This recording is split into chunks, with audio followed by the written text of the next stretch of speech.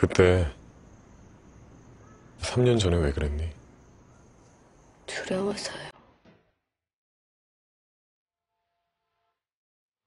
공부반 선생님한테 갖다 드려? 언니가 왜? 우리 언니 건드리지 마. 그냥 내버려두란 말이야.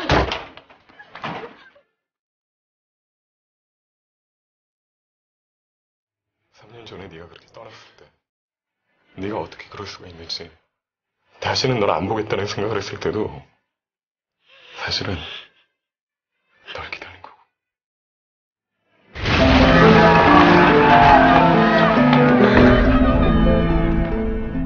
언니 사랑했어요.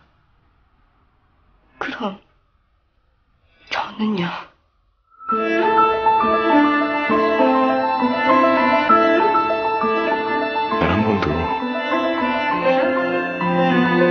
않은 적은 없어 이게 저한테 할 수 있는 모든 얘기예요.